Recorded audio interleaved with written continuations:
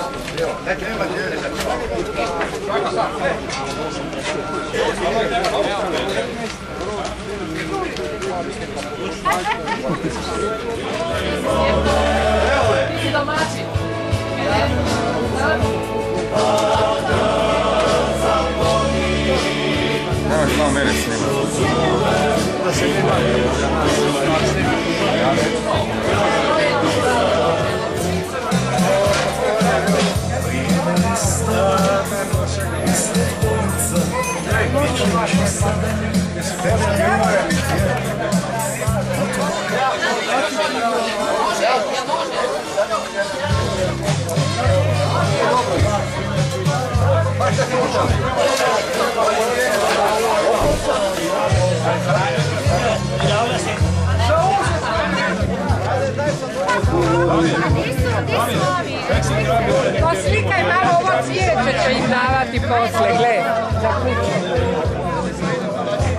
je vruće, kak ćete vi to nositi?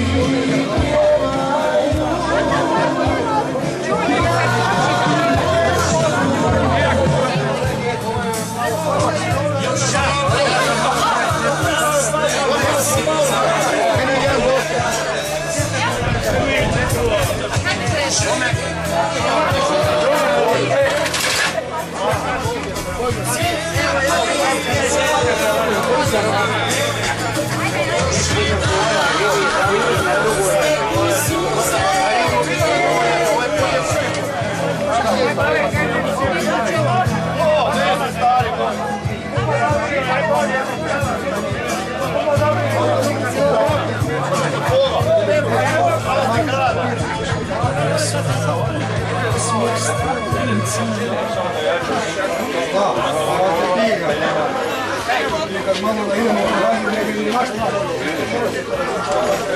Ima koga? A Vukovo selo pored To je Žiković gori.